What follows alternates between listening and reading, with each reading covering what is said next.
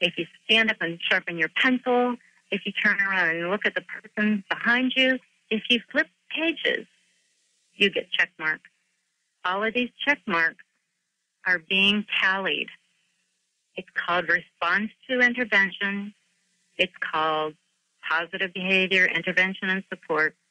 It's called functional behavioral assessment. This is what is happening right now. And trust me, we can document every piece of this, every single piece. At this time, I am writing a legal brief. I am not an attorney, but I know what violations are happening besides privacy, besides the Protection of Pupil Rights Amendment that says you can't test and score and treat attitudes, uh, civil rights. What about our constitutional rights that says we have the right to be left alone, the right to our individual thoughts? I am writing this legal brief that explains what had happened with all the documents behind it saying this is how they're going to do it. This is how they're going to do it. And it's a decision making model. You will no longer have the ability to say no. There's one more step even more horrible than what I just said. As they're doing this in the classroom, this reauthorization, the No Child Left Behind, okay, they're going to redo it. What is in there is they're saying now that, remember I said Title I identifies your child and it's every child? Right. That Title I child, they are going to give funding, what they are saying, that will follow the child. So now you have Title I funds that follow the child. So in this piece of legislation, it says we're going to offer choice to Title I children. Okay, so let's think about that. What does that mean? Every child is Title I. Every child is going to be funded where the money follows the child. This is the biggest state rights violation that you can think of. If the federal money is going to go directly to the child, guess what? It totally bypasses state government. So when everyone's out there saying, yes, I want choice, I want to get out of that public school, right? I want to get away from the government. Well, you know what? The government has you covered. They're going to give you Title I. And guess what happens? When your child is Title I, now it's no longer Title I is for books in the Catholic school. It's Title I is your child. Okay, so now your child is going to take that little stipend or voucher or whatever you want to call it, walk into your Catholic school, private school, Christian school, whatever school, and Common Core walks right in with it. Because they have to ultimately teach to the outcomes that are desired. Absolutely. And you see, and, and it's not like in the past where Title I funded the books. Okay. Now Title I follows the child. So if a Catholic school says, no, I don't want you, that would be the biggest discrimination suit of the year. Okay? You cannot deny a child access. This is the equity, the equity in education that Obama was talking about. Yeah. Okay? We're going to make everybody equal. And what about credentialing in but, but, but this has been the dream of the educrats for 50 years, you know, since World War II. They've been talking about this as a long-term goal. But but now credentialing is becoming an issue. You know, we're seeing credentialing, say, in British Columbia as far as whether certain law colleges there abide with the politically correct standards rather than teaching their own curricula. This seems to be the ace in the hole. You will not be able to move up through the system unless you conform. And you realize that all freedom here is lost. All innovation is lost. The government determines what you must teach and know and think. And if you don't do it, you're stuck. Well, and they've changed the higher ed criteria. Anyone, all you have to do is look under the Lumina Foundation They've created the new diploma for college, which includes all of the affective domain standards that I just talked about. Okay, so in, in the authorization, in the reauthorization, it says that children will be, let me see if I can say the exact word, college and career ready without remediation. Okay, what that means is what I just said. You have to abide by all the Common Core, or you're going to have to stay there forever. Okay, your child will be remediated no matter what, or you will not be able to move forward.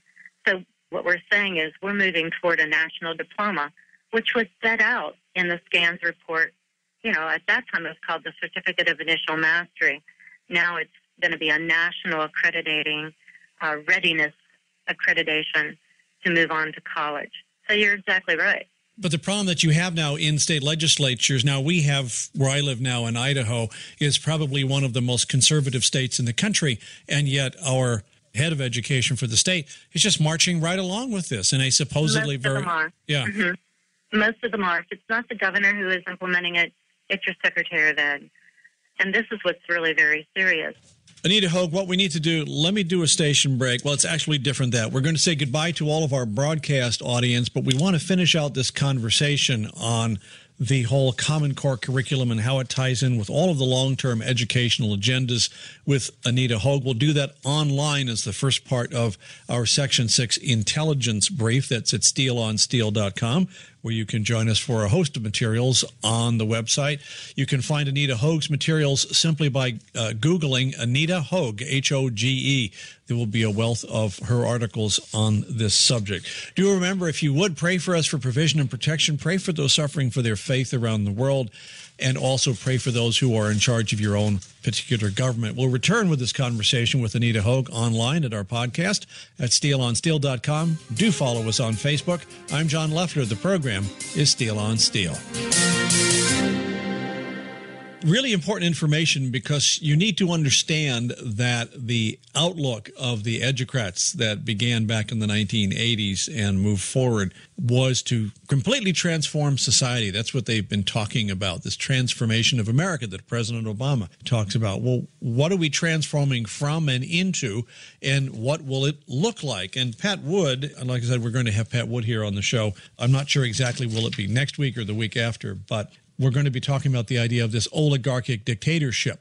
And what it is, is an army of unelected, unaccountable bureaucrats all monitoring everything that we're doing through an intense series of computer processing crunching going on. That's what it's looking like right now, the way everyone's talking and the way technology is moving. Technology is not necessarily intrinsically evil in and of itself, but this is where we're headed. And so you have to face it. Anyway, back with Anita Hoge. We're going to spend about 10 more minutes with Anita Hoge, and then we'll have a full one hour Section 6 briefing. This is really part of Section 6. Welcome back to Steel on Steel. John Loeffler here with you. All right, Anita, you wanted to address something else. I'll just let you have the floor on this part of the conversation. Something I do want to go back to to make sure people understand what I meant by if you Google ABCs of dumb down and put property tax in there. I wanted to just finish that thought. So, if you're going to have that Title I money that follows the child, and that child is going to, well, actually, what's going to happen, there will be an exodus out of public school, right? If everyone can go whatever they want, everyone gets Title I money, or their their children are Title I yeah. children. Now, People want a better education; they're going to go where they can get it. And they're going. There's going to be an exodus out of public school. What happens to your school district when there's an exodus of children out of your public school? And your public school has elected school board members. And your elected school board members in most states, although some it's already moved to the state, they control the levies or whatever, or bonds or whatever's happening, and your property taxes. What's going to happen when your public school folds? Because that's what's going to happen. Your public school will fold. So, what is in Senator Lamar Alexander's bill that is their little designer basket of what's going to happen. They are expanding huge. There's huge pa- um, amount of pages in the reauthorization to expand charter schools. So people think, well, what's so bad about charter schools? Well, first of all, charter schools don't have elected boards. They're public schools, but they do use public funds. So you have charter schools has some sort of nonprofit bureaucratic person that authorizes them uses public funds, but they don't have elected school boards. This is the agenda. Yeah, so at this point, parents are losing all control of what's taught to their kids, and their options are going to be closed out. You can see this.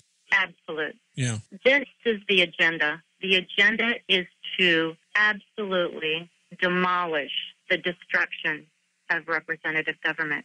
This is it. They're doing this through education. It is education that will be used to kill the republic.